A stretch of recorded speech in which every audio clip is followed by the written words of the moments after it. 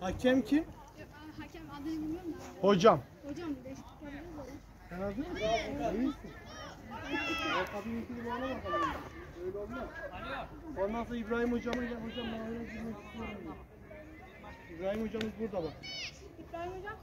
Sen hazır mısın? İyisin. Ayakkabıyı ikili bağla bakalım. Öyle olmaz. Ondan sonra İbrahim hocama gel hocam ben oyuna girmek istiyorum. diyor. İbrahim hocamız burada bak. İbrahim hocam.